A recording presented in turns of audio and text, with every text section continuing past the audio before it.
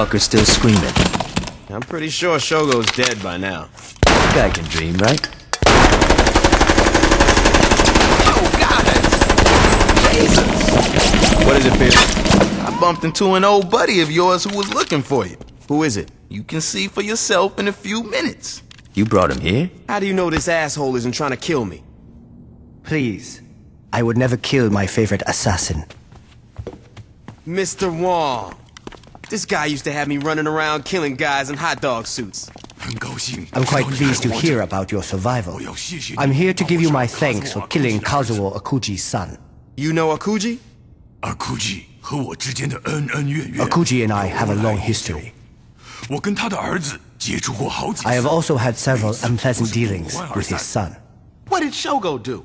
When he was younger, he killed Mr. Wong's dog. You fucking kidding me. I do not joke about Sadie. If you guys got some time, we could... Is that? Were you followed?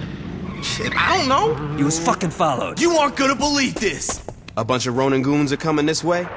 Well, yeah. You ready for this, Wong?